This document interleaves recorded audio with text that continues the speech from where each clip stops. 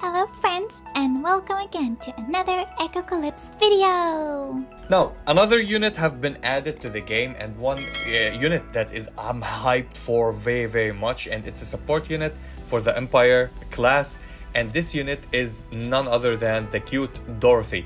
Now Dorothy is an insane support. She's a support class, she's an absolute amazing support. She's a buffer, she's a shielder, and she's a damage dealer and enables your entire team. I recommend highly to build her or at least to get one copy of her and we'll be talking about her and why she's that good. First of all, She's an Empire, her Artifice. So, she gains dodge, she gains damage reduction, block, block strength, pierce, crit resistance, and damage reduction. All of that will help her survive even more on the lineup. If you build her on more stars more and more, she will be very much tanky that she can survive. And she's a unit that she needs to be tanky and in the same time she needs to be attacking high or you need her attack high. So you can she's flexible you can build her on both on attack set and on hp set. We'll be talking about this when we explain her skills. Her links go with beam with niz with Camilla, Camellia and with Kiki and of course uh, with Curry if you get Curry the new unit that will be dropped. So she gonna gain HP by 18%, she's gonna get armor by 18%, she's gonna increase her HP by 25%, which is absolutely crazy for her, and her attack by 18 if you have Curry or you pull for her. So Let's talk about her and uh, talk about her skills. First of all, her passives, when you get her to 1 star, 4 star, and 6 stars,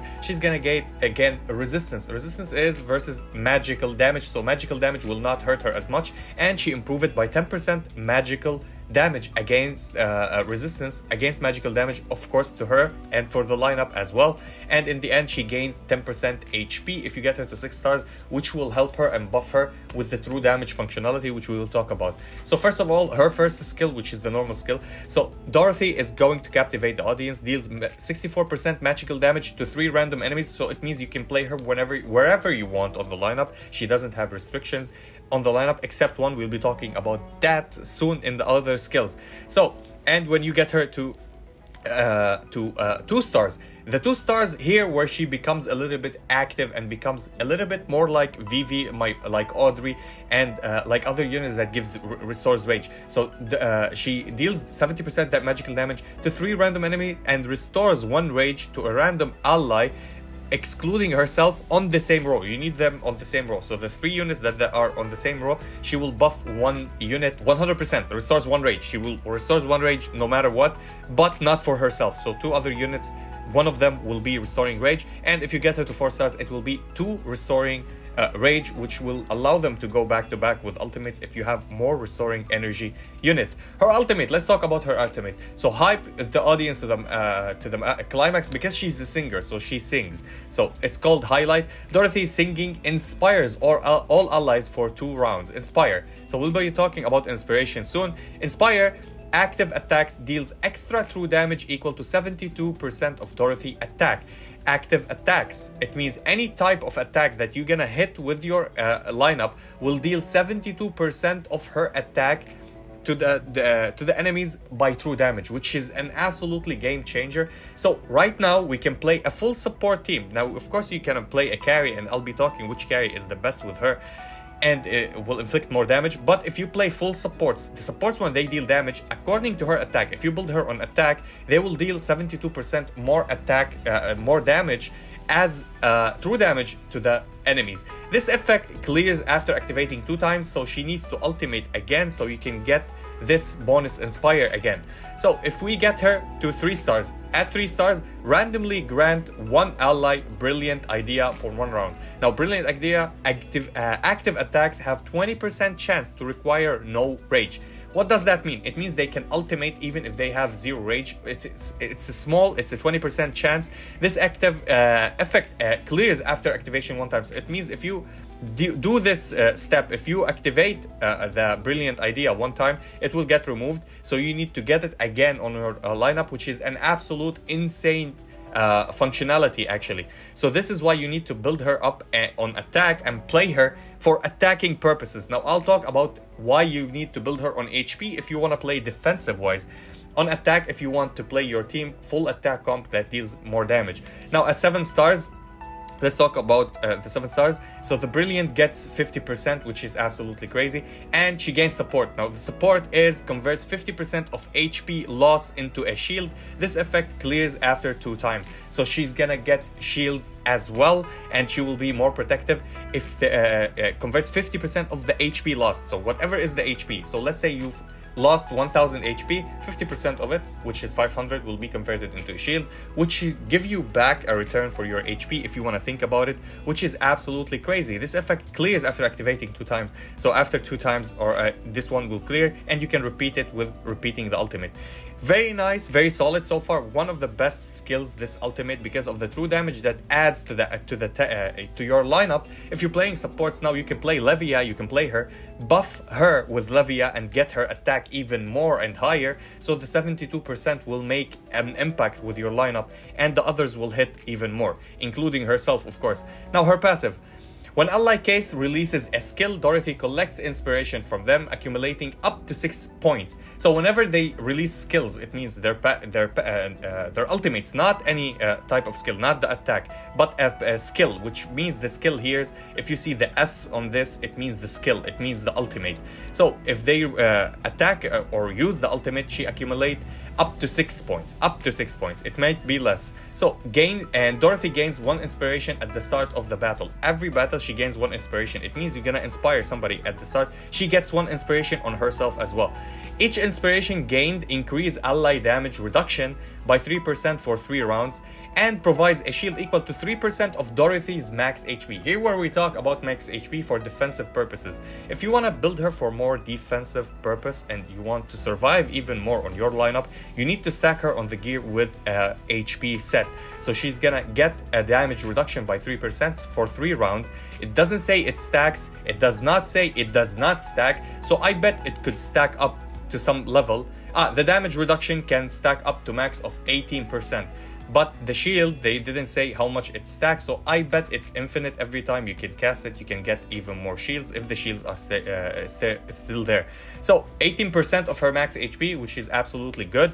If you uh, this is, we're talking about augment 1, so we get her to augment 6, which all of us will do. As free to play myself, I have all my team to augment 6, even three of them are at augment 7.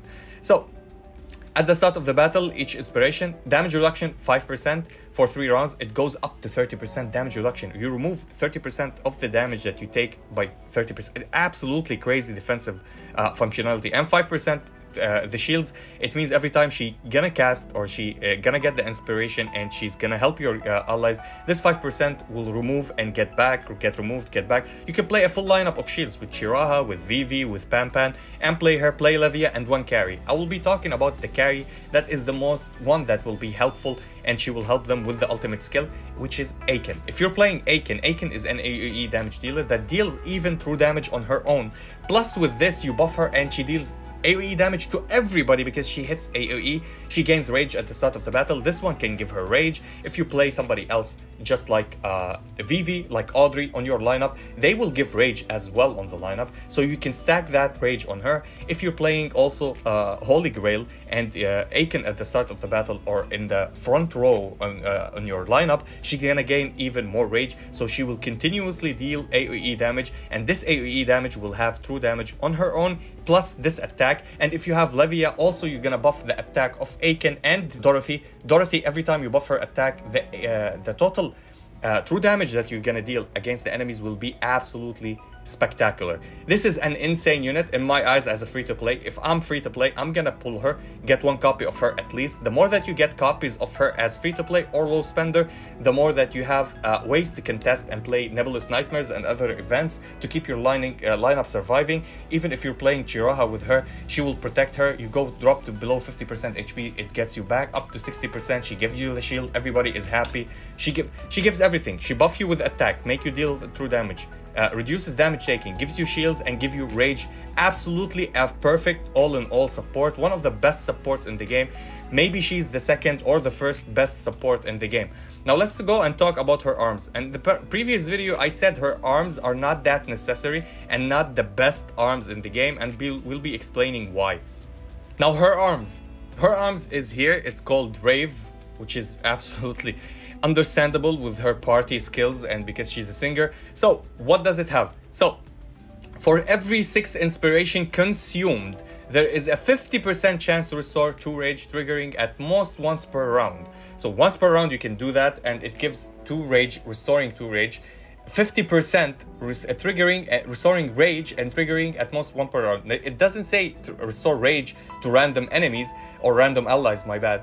So this is probably for her, for herself. She uh, she uh, restores two rage for herself, and it's a fifty percent. Now, if you get her to three uh, uh three stars, I think, yeah, three stars. So uh, at the start of the battle, increases Dorothy damage reduction by 20% for the entire battle. Damage reduction upon herself, she will be so tanky. So it means if you want to get her to that point that you want her to survive almost every time, you're gonna get that 20% plus her passive that gives her 30% if you maxed her with stars or if you got her augment augmentation to level 6 it needs to level 6, it will get the 30%. With this, it's 50% damage reduction. 50% of the damage that you're gonna take, she's gonna reduce it if she has this at 3 stars. Now, of course, if you get it to 5 stars, it will be 30%. It means 10 10% more. I don't recommend get her getting her to uh, 5 stars on her weapon. If you uh, gonna get her to 3 stars, that would be awesome. 3 stars is what I recommend. It's not a must-have because her rage you can play other units that will give you rage and synergizes well with her. But if you're gonna get the weapon at least try to get it uh, one time. And having her weapon is boosting her stats her attack her passives everything. Don't forget we're gonna get her prototype to level 3 at level 3 i think her prototype where is it? At level 3 it means 2 stars. It will get her 30% a chance to restore 2 rage which is the 1 star that we have on her where is it so at 1 star she's gonna uh, restore 50% to restore to rage. It means it's better to have the SSR better than having the SR. And yeah, that was it for Dorothy. Again, Dorothy, if you're gonna go to the complex to the leisure, as I uh, showed you in the previous video, uh, there's a lot of lag. So if we go here, I guess, she's here and she buffs, uh, I think, Dominica, and Dominica is not yet in the game. So it doesn't buff herself. She doesn't have a passive from the leisure but uh, everything is good with her. If you build her up on attack set she gonna uh, buff her attack and you deal extra true damage to the lineups. If you build her on hp she's gonna get even a thicker shield to the lineup and protecting everybody. And her best teammates are levia 1 and aiken 2 aiken will deal aoe damage and she will get buffed by true damage of course with the true damage that she has she hits double tap which is absolutely crazy now, I would say Dorothy goes with every single lineup, every meta in the game. It doesn't matter because of the true damage that she gives, the energy that she gives, the buffs that she gives. She is an absolutely crazy unit. She's a surviving unit that helps your team to survive and protective, and she's a buffing unit that helps your team increase the damage output. She's a must-have. I repeat for the last time, she's a must-have. If her banner drops, she's a priority go and summon for her. And yeah, that was it for the video. If you enjoyed this video, please like and subscribe. If you didn't, we thank you for watching. And as always, stay frosty. Peace.